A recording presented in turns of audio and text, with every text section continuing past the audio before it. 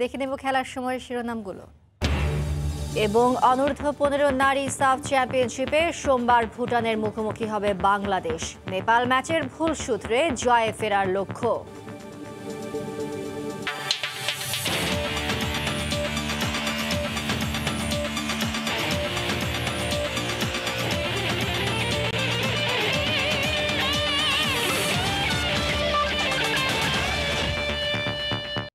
এবারের বিশ্বকাপে আম্পায়ারিং হয়েছে, যাচ্ছে তাই।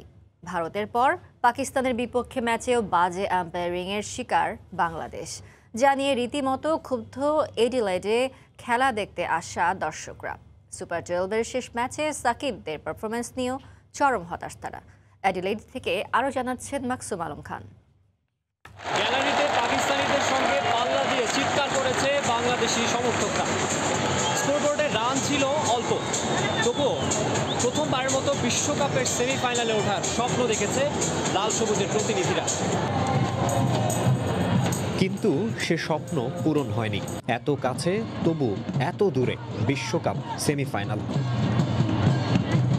এই হতাশা প্রকাশের ভাষাও যেন নেই কারও কাছে। যে খেলাটা বাংলাদেশ টিমের থেকে এক্সপেক্ট করছিলাম আসলে ওইটা প্রত্যাশা অনুযায়ী দিতে পারিনি। ইন্ডিয়াটা আমি বলব যে এক্সপেক্ট করছিলাম বাট অ্যাটলিস্ট এন্ড পর্যন্ত গেমটা দেখছি। বাট পাকিস্তানেরটা মানে এটা মানে কি বলব হিউজ ডিসঅ্যাপয়েন্টমেন্ট ব্যাটিংয়ের শুরুটা একেবারে খারাপ হয়নি বাংলাদেশের কিন্তু সাকিব আউট হওয়ার পরই বদলে যায় দৃশ্যপট।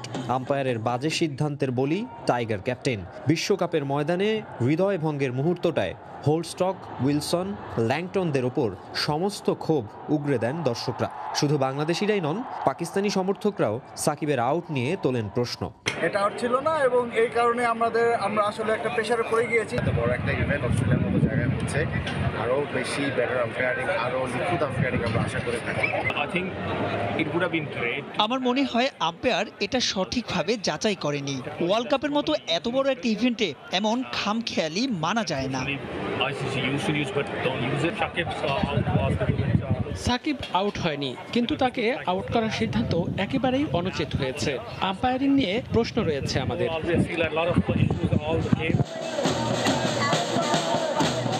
দক্ষিণ আফ্রিকা নেদারল্যান্ডস ম্যাচ চলাকালীনই উপস্থিত হয়েছিলেন টাইগার ভক্তরা। অ্যাডিলেড ওভালের উঠোনটা মাতিয়ে রেখেছিলেন নাচে, গানে, বাদ্যের তালে। কিন্তু ম্যাচ শেষে একই স্থানে উদযাপন করেছে পাকিস্তানিরা, তাকিয়ে দেখা ছাড়া কিছুই করার ছিল না বাংলাদেশি সমর্থকদের। ক্রিকেটারদের দায় বোর্ডের দায় কারণ যে টিম নিয়ে আসছে, কয়েকজন প্লেয়ার ছাড়া বাকিদের তো ওরকম কোনো ইন্টারন্যাশনাল খেলার এক্সপিরিয়েন্স নাই। মানে এই ধরনের টিম নিয়ে আসলে বাংলাদেশ মানে আজ বাংলাদেশের সাপোর্টার আমরা খুবই হতাশ। Shanto he is playing good he is stylish batsman but he is not a is a good for one day cricket ঠিক আছে is not for T twenty এবারের বিশ্বকাপের সুপার টুয়েলভে চমকের শেষ ছিল না। নেদারল্যান্ডস হারিয়েছে দক্ষিণ আফ্রিকাকে, জিম্বাবুয়ে পাকিস্তানকে, আয়ারল্যান্ড, ইংল্যান্ডকে। কিন্তু এই দলগুলোর চেয়ে র্যাঙ্কিংয়ে এগিয়ে থাকা বাংলাদেশ কোনো বড় দলের বিপক্ষে জিততে পারেনি। এখন টি টোয়েন্টি ক্রিকেটে বাংলাদেশের সামর্থ্য নিয়েই প্রশ্ন তুলছেন দর্শকরা। মাকসুম আলম খান, সময় সংবাদ অ্যাডিলেইড অস্ট্রেলিয়া। পাকিস্তানের বিপক্ষে বাংলাদেশ সেমিফাইনালের সুযোগ হাতছাড়া করায় হতাশ দর্শকরা। তবে তার চেয়েও বেশি হতাশা ব্যাটারদের দৃষ্টিকটু ব্যাটিং আর প্রতিদ্বন্দ্বিতামূলক ক্রিকেট খেলার সামর্থ্যের অভাব। বিশ্বকাপ যায়, বিশ্বকাপ আসে। পুরনো দুঃখ ভুলে সমর্থকরা আবারও নতুন আশায় বুক বাঁধে। তবে ঘুরে ফিরে সেই একই চিত্র। ব্যর্থতা, হতাশা, ভুল শুধরিয়ে উন্নতির প্রত্যাশা। দক্ষিণ আফ্রিকার হারে বাংলাদেশি সমর্থকদের সকালটা শুরু হয়েছিল নতুন ভোরের খোঁজে। তাই পাকিস্তান ম্যাচটা রূপ নিয়েছিল অঘোষিত কোয়ার্টার ফাইনালে। হতাশার ব্যাটিংয়ে সেসব সমীকরণ ভেস্তে যায় প্রথম ইনিংস শেষেই।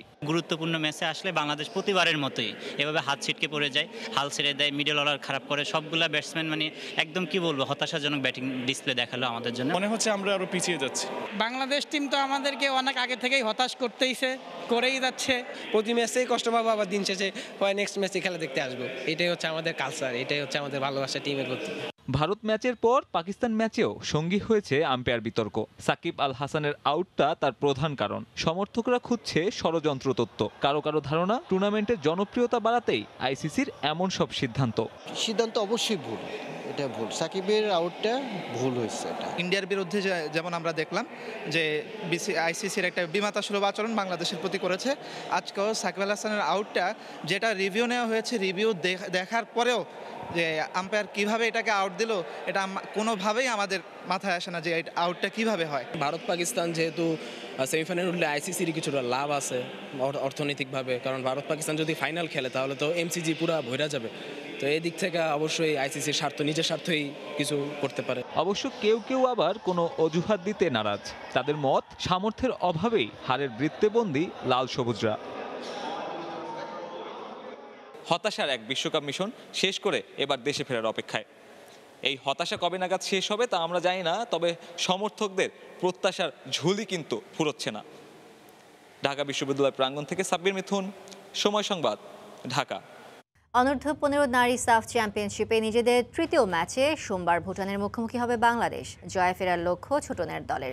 কমলাপুর বীরশ্রেষ্ঠ সিপাহী মুস্তফা কামাল স্টেডিয়ামে ম্যাচটি শুরু হবে বিকেল সাড়ে চারটায়। এক বছরে দুটি সাফের শিরোপা জয়ের লক্ষ্য নিয়ে সাফ অনূর্ধ্ব নারী চ্যাম্পিয়নশিপ শুরু করেছে বাংলাদেশ। প্রথম ম্যাচে ভুটানকে আট শূন্য গোলে উড়িয়ে দিয়ে আসর শুরু হয় ছোটনের দলের। কাঠমান্ডুর হারের শোধ কমলাপুরে নেয় নেপালের মেয়েরা, এক শূন্য গোলে হেরে যায় বাংলাদেশ। তৃতীয় ম্যাচে প্রতিপক্ষ ভুটান শিরোপা জিততে হলে বাকি দুই ম্যাচে পেতে হবে বড় জয়। এ পর্যায়ে খেলার সময় শীর্ষ সংবাদ জানিয়ে দিচ্ছি আরও একবার। এবং অনূর্ধ্ব পনেরো নারী সাফ চ্যাম্পিয়নশিপে সোমবার ভুটানের মুখোমুখি হবে বাংলাদেশ। নেপাল ম্যাচের ভুল সূত্রে জয়ে ফেরার লক্ষ্য। এই ছিল খেলার সময় এখনকার আয়োজন। এখন চলে যাচ্ছে বিশ্বকাপের সময়।